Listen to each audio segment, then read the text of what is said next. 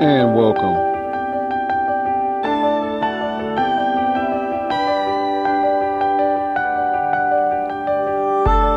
to an edition of In the Word of God podcast. I'll be coming from a series, Waiting on God.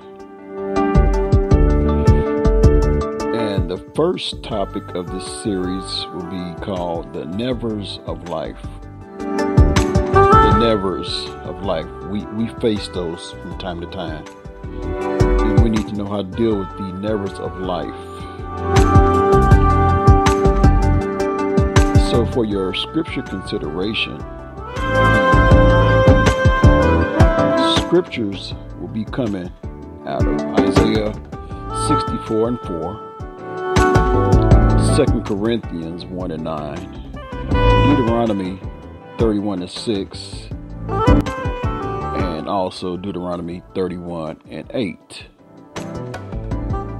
Once again, the series is Waiting on God, and today's topic will be the nevers of life.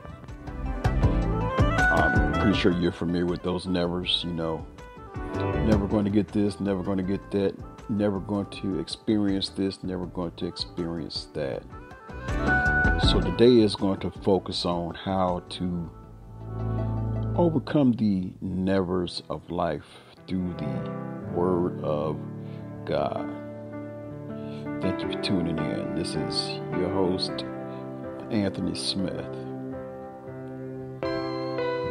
And for our scripture reading, Isaiah 64 and 4 says, For since the beginning of the world, men have not heard, nor perceived by the ear, neither hath the eye seen, O God, beside thee, what he hath prepared for him that waiteth on him.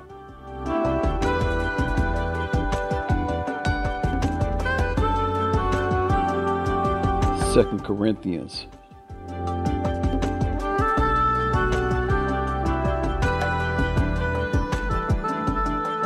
one and nine. Make sure I have that right. Second Corinthians chapter one, verse nine. It reads, But we had the sentence of death in ourselves, that we should not trust in ourselves, but in God which raiseth the dead. Deuteronomy 31 and 6. Be strong and of good courage. Fear not, nor be afraid of them, for the Lord thy God, he it is that doeth go with thee. He will not fail thee, nor forsake thee. And Deuteronomy 31 and 8.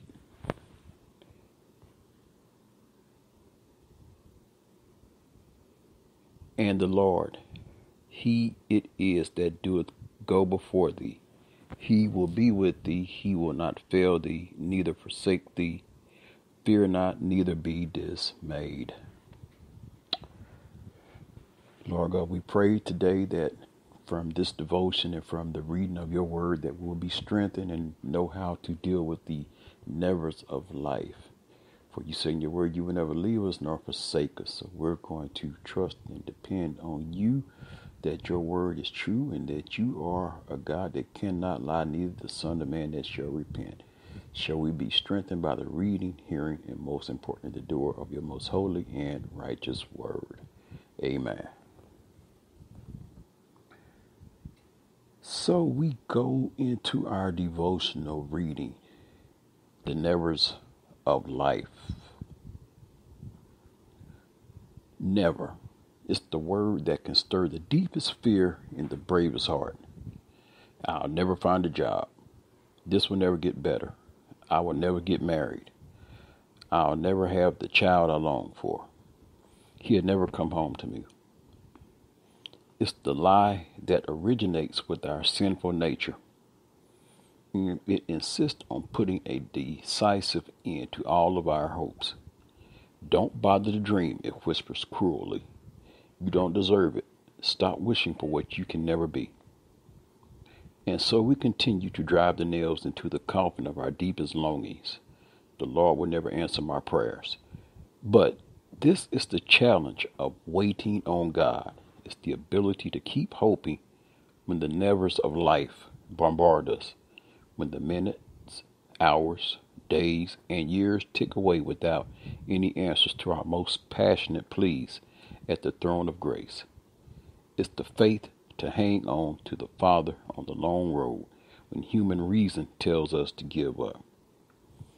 If the nevers of life are discouraging you, if you've waited for the Lord to fulfill his promises to you, if you wonder why God has allowed such a lengthy delay in answering the deepest cries of your heart, if that's where you are, friend, then this is the right plan for you.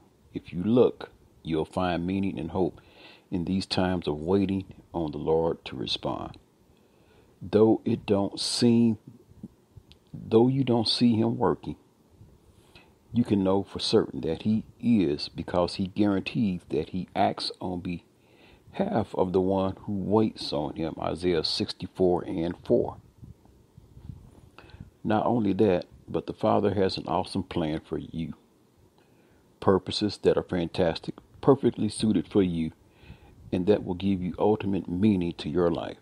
However, God also has a very specific schedule, one that's often vastly different from what you'd expect, may have you wait far beyond what makes you comfortable, and most likely will make you feel that all earthly hope is gone, so that you rely solely upon Him in 2 Corinthians 2, verses 1, chapter 1, verse 9. So, what I intend to show throughout these devotions that follow is that the only never you should focus on is that God will never let you down. Deuteronomy 31 6 and 8. So, whatever it is you yearn for, no matter how long you have to wait, you can trust the Father to lead you, and you can know for absolute certain that He has your very best interest in mind. I'm reminded after reading that of a song we used to sing years ago. It says, Wait on the Lord and be blessed. Wait on the Lord and find happiness. To those that wait, he shall renew their strength. Wait, wait on the Lord and be blessed. Sometimes it may seem like it's getting dark. And trust me, the one that's doing this podcast, I've gone through those dark moments. I know what it's like. But I also know what it's like when he brings you into the light. And I'm also reminded of this that the darkest hour is right before daybreak. And if you can make it through the darkest hour, the sun is going to shine. So I want to encourage you while you're going through the nevers of life. I've been there. Sometimes I go through them still. But I'm not going to go through this devotion with you saying that I haven't when I know I have. But I say, if you're going through your moment, know that you're not going through it alone. I've been there, I've done that, and every now and then those moments come up. I'm being transparent. I serve a God that sits high and looks low. He knows what we need before you ask, but he also said, Ask and shall be given. Seek ye shall find, knock, and the door shall be open unto you. But we just have to learn to wait because there's a blessing coming. So thank you for tuning into this podcast. And there will be more to come on a daily basis. This was the first of many. So you just stay tuned. The best is yet to come. This is yours truly in the Word of God, Anthony Smith.